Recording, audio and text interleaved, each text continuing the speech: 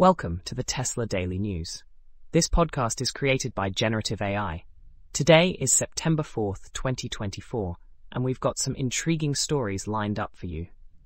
From the streets of Oakland to the cutting edge technology in your driveway, we're diving into how Tesla vehicles are becoming unexpected allies in law enforcement. Remember, links to all stories can be found in the episode notes. In a fascinating turn of events, the Oakland Police Department is increasingly turning to Tesla vehicles as mobile surveillance tools. Leveraging the car's Sentry Mode feature, these electric vehicles are now playing a pivotal role in crime-solving efforts. Originally enhanced after a spate of break-ins targeting Teslas in California between 2018 and 2019, Sentry Mode has proven its worth by capturing incidents of vandalism and other crimes leading to successful investigations. Police have started actively seeking out parked Teslas at crime scenes, hoping to access the recorded footage for evidence. In some instances, officers have even resorted to towing vehicles to obtain video evidence, going as far as obtaining warrants when necessary.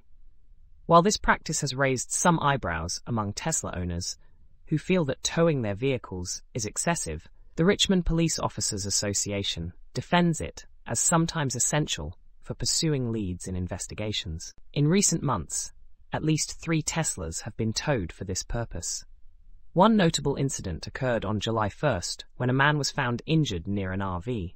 The Tesla's owner, a Canadian tourist, cooperated with the police, allowing them to download the footage without the need to tow the car.